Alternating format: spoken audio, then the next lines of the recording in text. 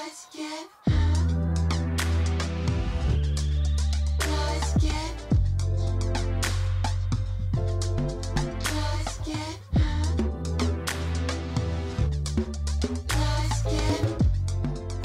guys, how y'all doing? Like, it's been forever. We're here today, we're here now, I'm back, I guess. You know, I say this every single time, like, I'm back, I'm back, I'm back. Let's just, let's just not be surprised that I disappeared again, okay? That's literally one of my main traits and my strengths. I am able to disappear. um, we're back, obviously. It's 11.36. Um, I just came back from a meeting from work and I had to be there at 8 and I closed at 2 in the morning. So, you know, of course I had to get my trusty dandy like coffee today. I need I need a little dopamine rush and right now my dopamine is this. It's a it's like a Mexican mocha, I think. This is a large size. It's really good actually. Spice up your morning with an exquisite fusion of fine ground cocoa, vanilla, cinnamon, and almond mixed with espresso with 2% milk to make it creamy and smooth. This drink is available iced, hot, or blended. I got it iced. This shit, so good, y'all. So good. So good. So like once I like tasted it and I was like, mm, I had I, I got to decide whether I liked it or not. I decided I liked it. I recommend this 100%. But yeah, I came home before I left for this meeting today, I had barely gotten sleep. Like I got home at like three in the morning, I think. Um, yeah, like I really could not sleep last night. All right, like I'm gonna like set myself up in this corner to talk to y'all. But like, I don't know, cause like I was kind of paranoid I was gonna miss this meeting because it was like a special meeting. Now I got my coffee cause I, I mean I could nap, but I feel like, you know what I mean? I'm gonna take this day to just roam and be okay if I don't do anything productive, like cleaning wise in my room. Cause I feel like right now my room has just been the main source of anxiety for me. And let me show you why. Like I'm just, like this is like definitely on the cleaner side for me, like especially my desk. But then there's like that. I don't know, I don't know what to say. The main thing is just starting maybe if I just sit here in silence, I'm gonna think about it too much and I'm gonna get anxious and I'm gonna make myself do it. That's my that's been my method as of late. Just like make let myself get so anxious but not give myself something to do to get my like to work off my anxiousness so I have to do the thing. Kind of like it's kind of like reverse psychology myself.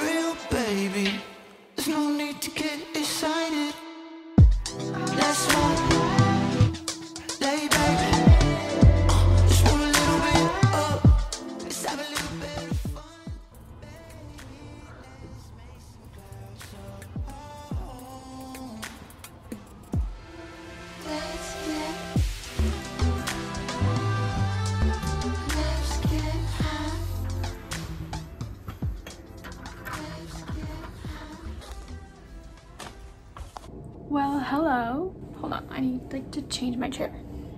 Okay. Oh my god, it's the stain from washing the dishes right now. Good uh, good day everybody. Like, hi, how you doing? I mean, we're here. So that's hilarious. No, it's not actually. It's just it's just different. But I got my little like hydro flask from because I left my other hydro flask in my car and I didn't feel like going all the way down my car just for a water bottle when I had this one right here, you know what I mean? Yeah, this morning I woke up, um, realized that I was really late for educational time. I was just like, okay, you know what, you know what, my life is still, it's, it's, it's a lot better, but I still, I maybe, maybe I just need to rot in bed today. But then I also like didn't think it through. Like rotting in bed for me is a lot different. I feel like whenever I, I can't rot in bed until my life is put together. But when does life feel put together? You know what I mean? Like my life never feels put together, but at least having enough for it to be able to rot in bed, but I've never ever in my whole life been able to rot in bed. So, I mean, my definition of a rest day is basically just a full day of self-care and cleaning and working on like my like hobbies, I guess. Which y'all might be tired of me like saying this every two seconds. I literally saw a meme actually. Hold on. It was literally like when you figure out something that you've always done is part of your part of an ADHD symptom and, it, and you just kind of add it to your collection. Fucking hilarious because that is hilarious. I've also been just like been like finding myself talking in a lisp and I don't know how to stop it. Like I just ended up talking like that and I feel like I've always had a lisp but I've always just been very conscious and like trying to hide it but like I literally can't. I literally can't. It's like kind of getting annoying but I swear I'm not doing it on purpose which I also subconsciously consciously change it back to like not having a lisp but then I just revert and it just ever-ending cycle. But anyways, we're gonna do our my skincare now. All of these goodies. Don't even know where I left the headband actually.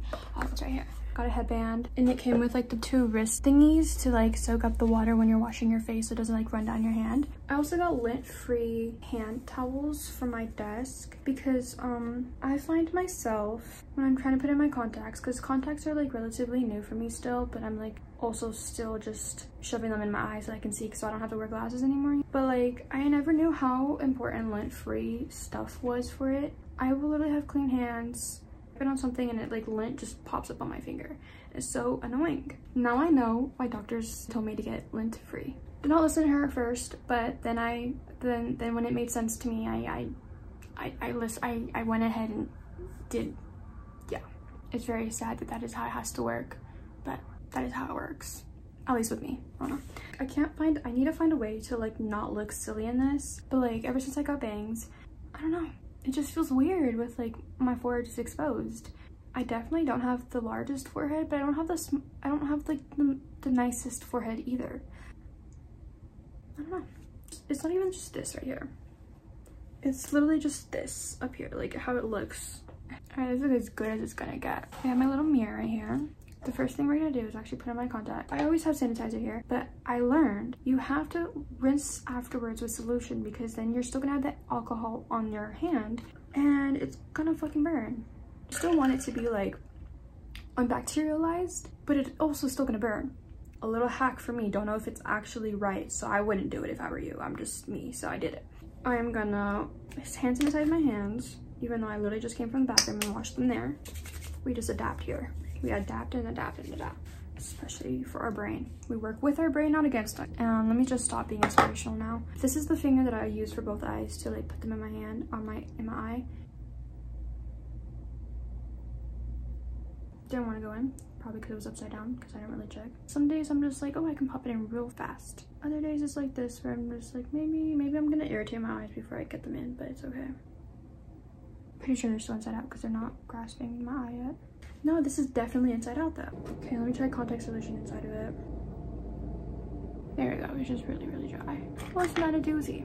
Also, my little like LA painting fell down. It's kind of really sad. I don't know when it happened. I just noticed like this morning when I woke up and I was like, oh. I feel like that's been like that for a little bit, but I just now noticed it. So, mean, cause like I had like subconsciously been wondering, oh, like where did my LA Hollywood paint and go? And like it wasn't until this morning when I sat up in bed when I realized I was late and I looked at my wall and I was like, it just fell. It's still there, it's just fallen. Um, will I do anything about it today? Maybe, maybe not. You, we will never know. Eye bubbles, the eye, the eye bubbles, air bubbles. The air bubbles are crazy. I'm also severely dehydrated, as you can see by my veins. I don't know if it's just because like I just have this fear of just not being clean enough. So I just tend to do everything until I feel clean enough. I actually don't know if that's just me or if that's also ADHD manifesting. A lot of things became clear in my life once I got diagnosed by an actual professional, prof, professional saying that I had ADHD and I wasn't just know saying it for shits and giggles and I realized that I, a lot of things in my life have actually been affected by my ADHD and not just my inability to follow through with things. That's why I didn't think I had ADHD for the longest like ever since I was little because like I was never like the hyperactive if it came down to it I always had good grades I always did my work which is why it was really hard to diagnose me and I and it wasn't until like I turned 18 I was like hey this is not right. I literally see how other people my age function and I'm not functioning correctly. Not functioning in the same way at least. At least at least the same way. Or at least I should be. And that is how it came about. So if you maybe want to like want to hear me talk all about that, like how my life just basically makes sense and that I know that for a fact I am the way I am because of this and it's not my fault, let me know because I will definitely make that video for you. And then being medicated for it. What did I just think? Oh, I need to put water in this. Okay, I'll be back. Already, y'all. I'm back. Let me just get back into my comfortable position again. Have the tools to get my life together. Now I just need to implement them every day. This is like cream for my rosacea because my cheeks get really fucking red. Yeah, and then I also got tretinoin. Has actually been helping a lot actually. Like I've just, I think I'm still purging right now because like I'm still getting like all these bumps and especially around my mouth because like gunk or something, whatever in my face for so long. This finally coming out. This is my SPF sunscreen moisturizer all in one little thing that I do in the morning. It's literally almost done. But I literally just do, do little lines. Enough for it to work. Put on my forehead, my cheeks especially, my chin. I've been trying to sleep, uh, fix my sleep schedule so my like, um, my like discoloration under my eyes is getting better slowly, slowly, slowly. But the, but the, but the, but the, but the point of the matter is they're getting better. Slowly but surely. Um what's after that? That is literally it. I'm gonna do this. Glycolic acid. I always saw like the tiktok girlies being like oh my god tiktok glycolic acid will solve all of your problems. It, i don't really know if i believe you but i'm gonna try it out anyway. Um let me just tell you. It does. It does. It does solve a lot not maybe all of your problems but a lot of the problems that you may be having with your like body. Maybe. Maybe. Maybe. As you just saw i just put under my arms because it's supposed to like eliminate the darkness of it razor bumps like the smell basically like your body odor. It's actually helped. At first i thought i was doing nothing because like i actually noticed myself smelling a little bit more stronger but then eventually i think it was just that also that detoxing phase where like once it like detoxes it it like just maintains the no smell kind of thing. Amazing. We're gonna put some hand sanitizer on again and I'll, i'm actually gonna go wash my hands too because i don't know it's just the thought. I'm not gonna i'm gonna try to touch my face again after touching my armpits. It's just no there's nothing wrong with any of this by the way. But like if it is like something that you're concerned about it wouldn't hurt to try. But you there is like a period where you need to like really be careful with it because like you can burn your skin off. So like you kind of need to like ease yourself into it so like build a tolerance to it. Hopefully like something that i say resonates with somebody and like it's not just actually just talking to talk just to yap you know i mean? Just to hear myself talk which i i do love that. But like i also want it to have some sort of meaning and purpose. Some substance sub substance. substan sustenance? Sustenance not substance. I've been combining two words this whole time and nobody has had the balls to tell me. Sustenance and then substance. That is fucking hilarious. Well at least i figured it out now like after like six months of using that word or creating the word i guess. I'm shocked. Alrighty. Let's just move past that now. Um some petroleum gel on our lips now. I'm actually like so happy that I've gotten to this point where like I like look forward to doing my skincare every day instead of it being like a chore. Because don't get me wrong, it definitely was a chore. Like I definitely had to remind myself, be like, oh, like you need to do your skincare, you need to wash your face, girly. Like you need to put the medicine and moisturizer SPF on as well. Kind of had to take away that all or nothing kind of um mindset for me? Or like what's the point of like washing my face if i'm not gonna put moisturizer on? So like that's when i had to adopt micellar water and cotton pads this this is what has helped me. This little baby step. The little baby step of using micellar water on the days that it was a little bit harder to go to the bathroom and wash my face completely and accepting that this is as good as it's gonna get and then if i don't feel up to it that is that is that is actually a really prime example of me learning to work with myself and eventually working up and building them i think my biggest like downfall is like as I, as soon as i learn something that works for me i want to i want to share it to and like talk about it to like other people and like maybe it'll like try to solve, it'll solve their problems too. I've also had to accept that some people just don't want to hear it. Plain as that, like some people just don't need your help. They got it covered themselves. I think about it in the way that I wish somebody would have just kind of came up to me and told me and I would have been like, oh, okay. And then like started it by myself. That's just, that's literally just me. Maybe somebody else also resonates with that. A lot of the people in my life don't. Also had to realize that and adapt in the real life. And I feel like I've always been that way. Like if I've found something that works with me, I try the hardest to like push it onto somebody I know. And it's very, very annoying for the people in my life slowly trying to get better at it unless you're like literally my family members or my best friend and I literally will push onto you and you let me because you know you love me anyway so. Also I need it I should have just left my bangs alone because now they're gonna drive me nuts and I'm gonna go crazy if I don't fix them correctly. Okay so what if I told you that I've low-key been struggling with my bangs? It really should not be this difficult, but I definitely am making it difficult for myself. I'm just gonna do it the lazy way and just do it like that. Just push all the way back.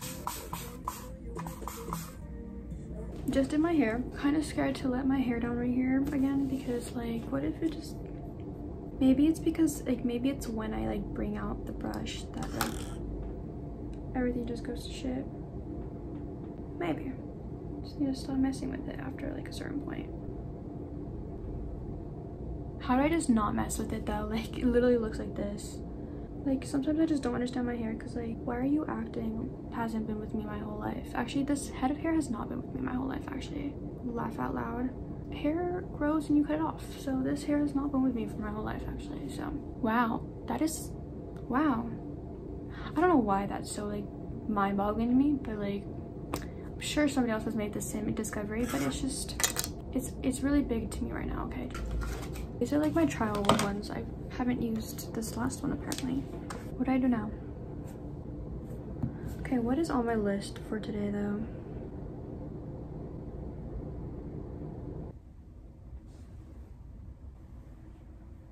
Okay, I completely forgot what I was doing earlier and I ended up texting some more, but makeup time, I get. My definition of makeup is eyeliner. That is it. That's all I do for makeup. So when I say, oh yeah, I'm just gonna take off my makeup, I'm literally just gonna rub some micellar water with the q-tip around my eyes and call it a day. So this is the only makeup that I have ever really worn. And it just makes me look and feel so much better. It's like how some girls can't go out without mascara. I can't go out without eyeliner. And it's never about like, no, well maybe it, sometimes it is, but like a lot of the times it probably isn't because like they feel completely ugly it's maybe just because it just literally just gives them a confidence boost because now they like fully feel pretty. That might have made absolutely no sense but it made perfect sense to me so i'm just gonna just gonna stand with it. So. Okay that is a little thicker than i usually do it but i'm not gonna try to fix it and make it even thicker, so. Woohoo! My makeup is done! And if I am feeling a little extra today, I mean, I do have my lip liner right here. I think I also have like some sort of like, I forgot what it's called, but it's when the color of your lip is like the tiniest bit in, then like your, where your lip actually like the shape of your lip is. If I actually like fill in like all the way to the end of my lips, then it's gonna look like a little bit funny because it just looks huge, but that is actually, I'm just gonna stop talking because it's not even, it's pointless right now. I'm not, I'm just arguing against myself.